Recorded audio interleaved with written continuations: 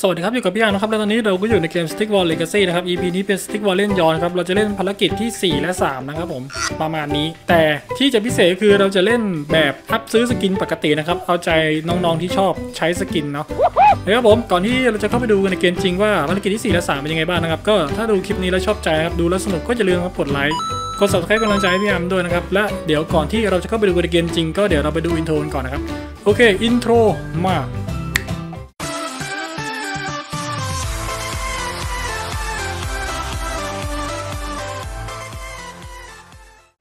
ภารกิจที่4นะครับทำลายรูปปั้นฝั่งตรงข้ามนะครับ อ๋อ เป็นแบบโกลับนะ แล้วเราก็จะต้องเจอ unit ทุกประเภทนะครับ ยกเว้น Archidon นั่นเอง เราก็จะทำการบังคับ unit ได้ทุกตัวเหมือนกัน ยกเว้น Archidon เช่นกันนะครับ แต่ละฝ่ายจะมี Archidon มาให้แล้ว 1 ตัวนะครับ ไม่สามารถสร้างเพิ่มได้ โอเค เล่นแบบ insane ไปดูเรื่อง skin กันก่อน มา ถ้าจะเล่นอัพซื้อ skin นี่มาถึงก็ใส่ vamp ให้เจ้า Swordwrath ก่อนเลยครับอะคนเก็บแร่ก็ใส่เป็น skin ไม้ไป ลาวาก็ให้ Spearton ไปครับ ส่วนคนป่าก็ป่ายจอมเวทแล้วก็นับยักษ์ก็เป็นคนป่าเหมือนกัน ถ้าอัพได้ใช่ไหมถ้าอัพได้ก็จับ Swordwrath ก่อนเลยครับ แล้วก็เอาเอาใครดีกว่าที่เหลือนี่ดีกว่ายักษ์เดือครับโอเคลุยโอเค เพราะฉะนั้นด่านนี้ก็จะเป็นเรื่องของเออการดวลธนูกันในช่วงต้นเกมนะครับ ถ้าใครสามารถฆ่านักธนูฝั่งตรงข้ามได้ก่อนแล้วก็จะได้เปรียบมหาศาลเลยทีเดียวโอเคยิงเช็คระยะกันก่อนครับยังยังไม่ใช่ครับยังไม่ใช่แบบนี้ ยิงเราไม่โดนหรอกเพื่อน เรานี่ยอดนักจุกในตำนานชึบยิงเอ่อยิงคนเก็บแร่ที่หันหลังก็ได้นะครับ มันยิงเราโดนขาแต่เรายิงโดนหัวนะครับ ทีนี้เราสบายละอาจจะไม่สบายมากแต่สบายหือมาจากไหนครับ คาสเซิลอาชิดอนครับ มาจากไหนครับเมื่อกี้ โอเค ได้ได้ได้ได้ได้ได้ไม่มีปัญหา เราก็จะมีกองทัพซอสบาของเรามาบ้าง บุ๊กตามเรามานี่นั่นแหละ ตามเรามา การตามเรามานั่นก็หมายความว่า พวกเขาก็จะโดนเราจู่โจมนะครับ เรียกได้ว่าดูดเลือดจวบจ้าบแบบนี้ครับโอ้ยโดนหัวโคก ยังยังยังไม่ตายไม่ตายไม่ตายใจเย็นอะมันจะไปเก็บแร่กันแล้ว เก็บแร่อะไรไม่อนุญาตให้เก็บ ไม่อนุญาตให้เก็บครับค่าแบบเรียงตัวแบบนี้แร่อะไรครับใครให้เก็บ ใครให้เก็บอืมเราก็โดนหนักล้อสองร้อยสิบหกโทไม่อนุญาตให้เก็บครับ มีใบอนุญาตเก็บแร่หรือยังเรียบร้อย แค่นี้ก็น่าจะจบเรื่องจบราว จบไทยกันได้ครับ ทีนี้เราก็ พยายามเก็บแร่ให้ได้เยอะๆนะครับ เราไม่รู้ว่าทับเสริมเขามีอะไร ทับเสริมเขาอาจจะโหดก็ได้ ซึ่งนี่ไม่ใช่ทับเสริม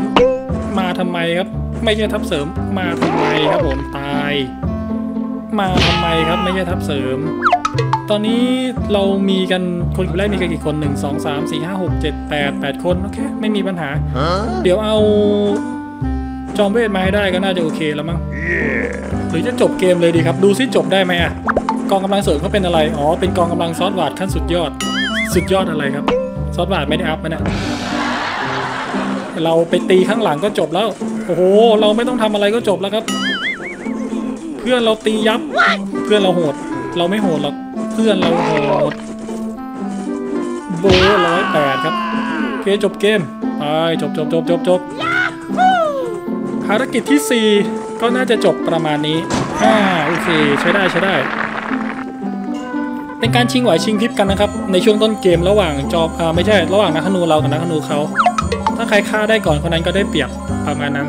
เดี๋ยวเราไปดูภารกิจที่ 3 กันต่อเลยนะครับ ภารกิจที่ 3 เอาชีวิตรอดได้จนกว่าพระอาทิตย์ตกดินนะครับ เราจะได้เจอกับ Archidon และบอส Swordwrath นะครับ โอ้หัวหน้า Swordwrath เลยเหรอ เราสามารถ control unit ได้ทุกประเภท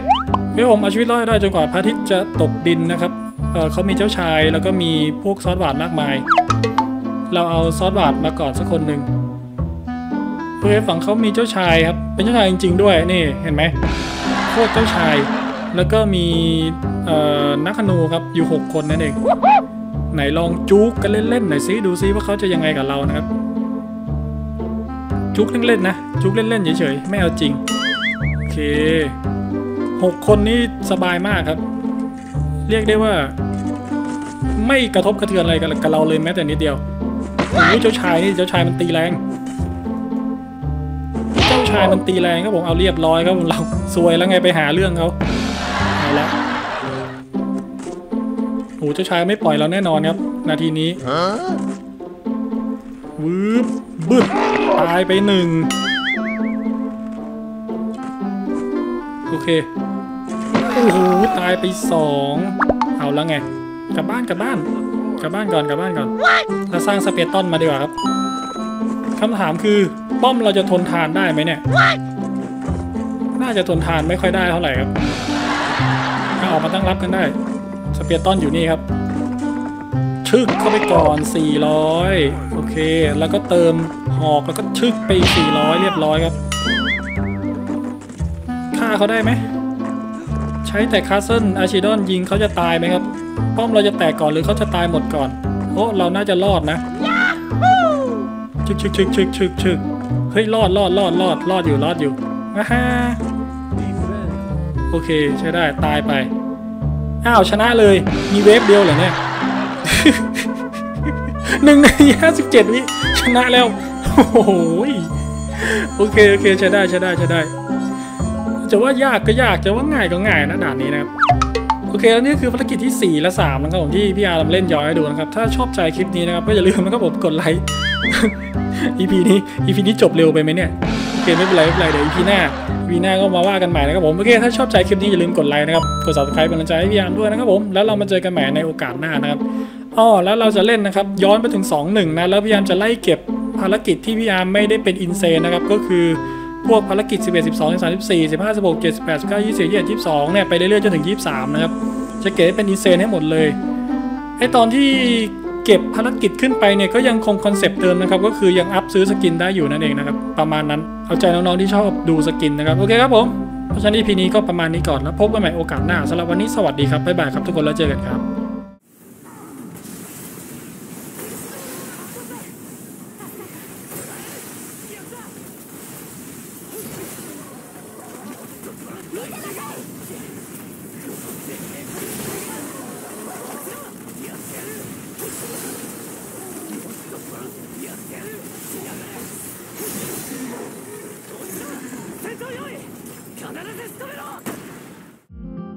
ดูแล้วถูกใจอย่าลืมกดไลค์กดแชร์นะครับผม เป็นกำลังใจให้พี่อาร์มด้วยแล้วก็อย่าลืมนะครับ กด Subscribe นะครับ กดติดตามที่